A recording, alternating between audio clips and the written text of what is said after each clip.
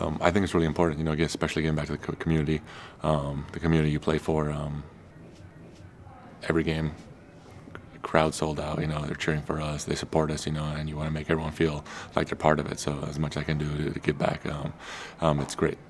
Uh, Sabonis squad is important because we're trying to get um, the kids to not have as much screen time and be outside, be outdoors, learn.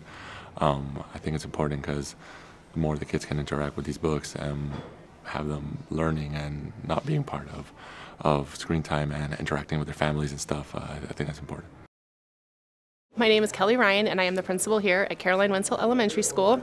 We were just fortunate enough to have the experience of having Domantas Sabonis come and join us, where he uh, was so generous as he has donated uh, books to all of our students to read over break and encourage literacy here, which is um, a profound um, gift to give to any child. I think it's an it's invaluable for these students to be able to look up and see um, a basketball player who is local to this community and um, to see him really impress upon what his goals and values are and that how important it is for literacy and for reading for their futures.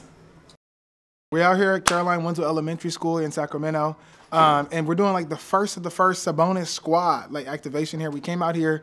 Uh, Sabonis is here. He bought coats for students, books for every student, and got some food brought out here. But really here to just um, encourage reading, encourage literacy. I know it was pretty uh, interesting to be in there with the kids. One of the kids came to me and was like I don't really read too much. But I was like, what's Sabonis squad though? Like Sabonis wants you to read.